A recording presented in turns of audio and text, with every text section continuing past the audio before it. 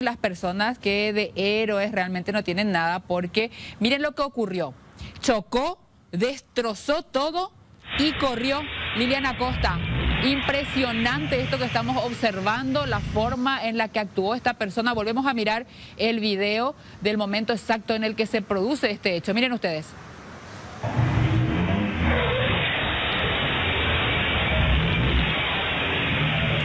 Impresionante. Liliana Costa, buen día.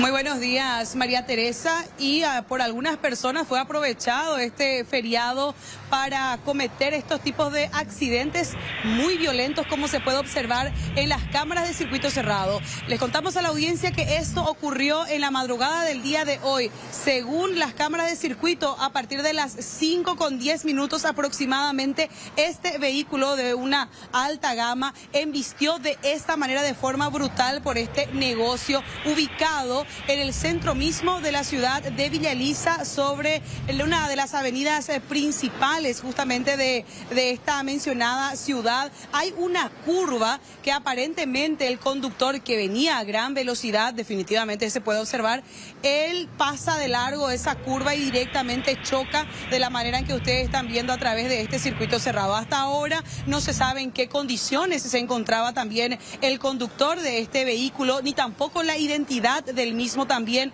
pero lo que sí se supo es de que él se dio a la fuga en ese preciso momento. Eh, ya las víctimas, a través de la alerta de seguridad, ellos se percatan de lo que ocurre, llegan hasta el lugar y se encuentran con esa escena, pero sin el protagonista en el lugar. Ya luego ellos empiezan a, hacer, eh, justamente a difundir el video de circuito cerrado por recomendación de las autoridades también para que pueda llegar al responsable, porque nadie se puso en comunicación con ellos. Efectivamente, esto funcionó, ya que a través de la difusión, a través de las redes sociales y los medios también, las personas responsables o el dueño de este vehículo pudo contactarse justamente con la víctima, que a continuación María Teresa nos da la versión de cómo se entera, cómo encuentra su negocio totalmente destrozado. Acá estamos hablando de una gran cantidad de dinero en cuestión de pérdidas es lo que se puede hablar porque también lo que vendía dentro de su negocio son objetos de alto valor también.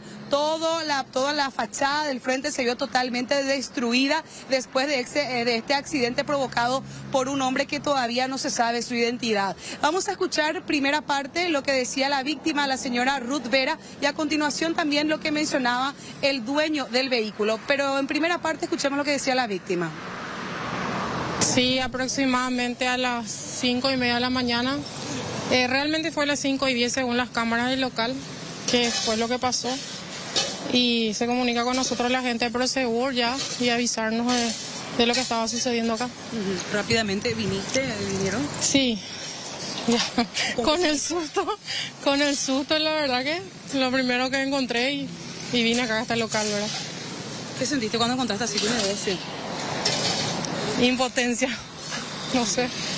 Y ahora bien, e, el conductor primeramente se había visto en las cámaras de circuito cerrado que había corrido, más o menos, había ido del lugar. ¿Qué pasó después? ¿Qué información tiene al respecto? Y empezamos a subir en las redes sociales, ¿verdad? Empezamos a pedir por recomendación de la gente de la policía que estuvo acá y la gente de, los guardias, ¿verdad?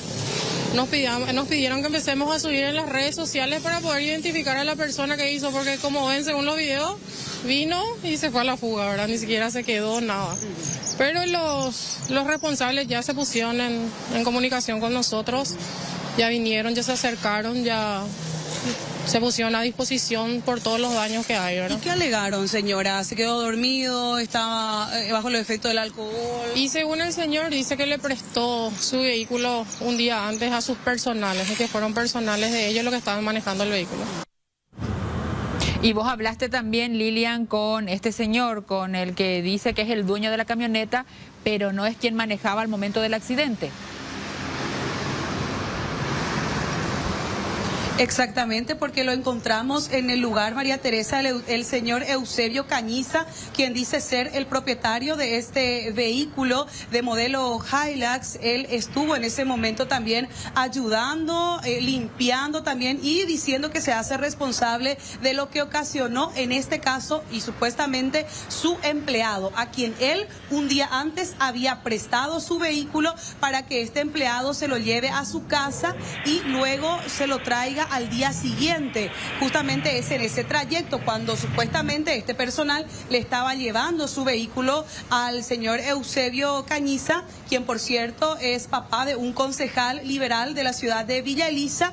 En ese preciso momento es lo que ocurre eso. Yo le consultaba también si es que él ya conversó con su empleado en qué estado se encontraba y decía que eso ya no tiene importancia también, sino que ellos se hacen responsables de todo lo de todo el daño ocasionado en estos momentos. En un principio de una manera eh, también estaba no, no, no, no quería conversar con nosotros, pero luego ya nos explicó también lo que había ocurrido diciendo que él es dueño del vehículo, pero no estaba manejando en ese momento, sino que fue su empleado, es lo que nos decía el señor Eusebio Cañiza en la siguiente nota. Es mi camioneta, ¿verdad? Yo presté mi camioneta a mi personal y vino a hacer esta cosa, ¿verdad? Claro. Por favor, no me, me enfoquen, por favor, le pido. Todo lo que quiera, pero no me enfoquen. Ok, ok. Sí, ahí mostramos otro lado. ¿Y borrar? Sí, pues estamos amigos. Bueno. ¿y dónde yo voy a, voy a saber si lo que ya firmó ya está? ¿Verdad? Los accidentes ocurren, no, no hace uno porque quiere. Claro, claro. Y no sé qué habrá pasado. Yo, como dueño de la camioneta, soy responsable de lo que pasó. Sí, sí, vemos que viene a hacerse responsable también. Claro que ya sí. llegaron una negociación con la con la Sí, totalmente, 100% Sí. responsable. ¿Usted ya llegó a conversar con su empleado, señor? Ha- hablé con la hermana porque el empleado no tiene nada. ¿Y resultó herido él? No, no, en absoluto no pasó nada, en absoluto. ¿Y qué le dijo la, la, la hermana? ¿Y qué va a pagar? control, se quedó dormido.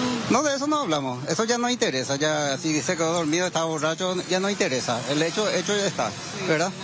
Sí.